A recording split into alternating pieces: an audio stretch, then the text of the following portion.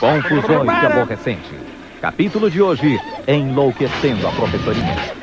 Eu já estava cansado de zoar na aula, jogar bolinha de papel, estrondar as meninas, escrever palavrão no quadro, colar chiclete na cadeira da professora, mas a mestra nem me notava. Aí eu resolvi dar um banho de loja, pentear o cabelo e prestar maior atenção na aula. Qual de vocês vai até o quadro negro resolver essa equação para a professorinha? Eu vou, professora.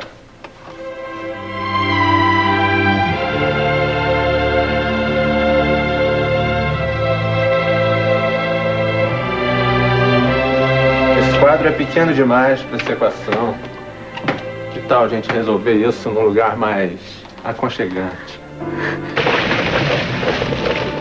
Eu vou botar uma roupinha assim mais. mais confortável.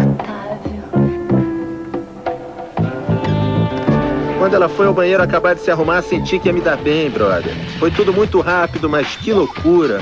Botei taxinha na cama da professora, pichei todas as paredes do quarto e até soltei um sapo no travesseiro dela.